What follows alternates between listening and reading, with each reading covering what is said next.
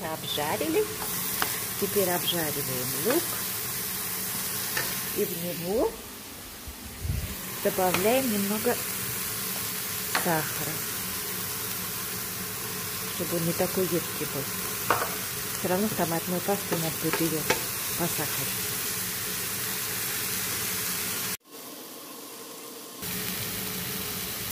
помидоры.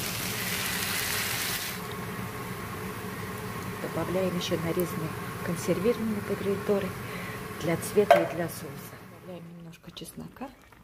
Надо было к луку, но я забыла. Ну ничего, не страшно. Вливаем все в мясо и оставляем тушиться. Я замораживаю. Мороженое беру, потому что нету такой пассажный. А базилик не свеженький будет томатного сока немного и красного вина для вкуса. И для того, чтобы пожиже было. Франк любит соус. Самой собой соль, перец. Не забыла орегано. Для баланьеза очень-очень подходит орегано. Вкусно. Все перемешали. Оставляем тушиться. А сейчас я приготовлю пока салат и поставлю макароны. Вот. С салатом особенно заморачиваться не буду.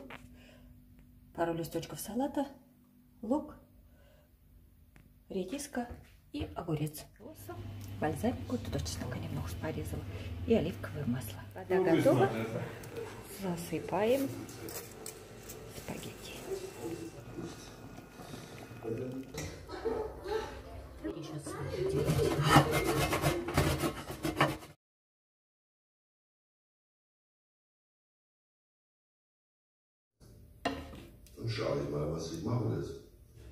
Jetzt. Gibt es noch Soße natürlich. Was denkst du?